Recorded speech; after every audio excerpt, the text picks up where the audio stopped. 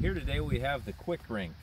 Uh, so I'm just going to give you a really quick overview of how this works and uh, how you do some setup here. So it's really convenient. It comes in just a, a small compact package here. Uh, I've already attached the hose just to show this to you a little bit quicker.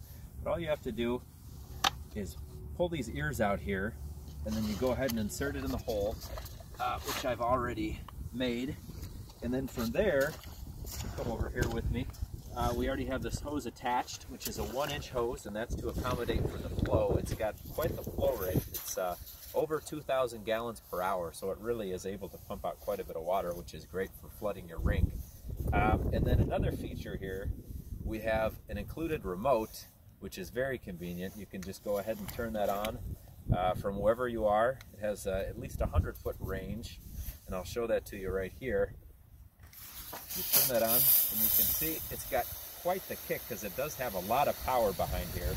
Uh, and you'll be able to plug that either directly with the hose or put on an attachment. Here I have a separately sold water gun uh, that's really convenient because you can turn it also on and off here.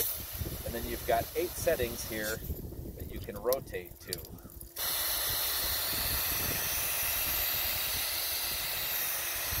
So there you have it Quick Rink.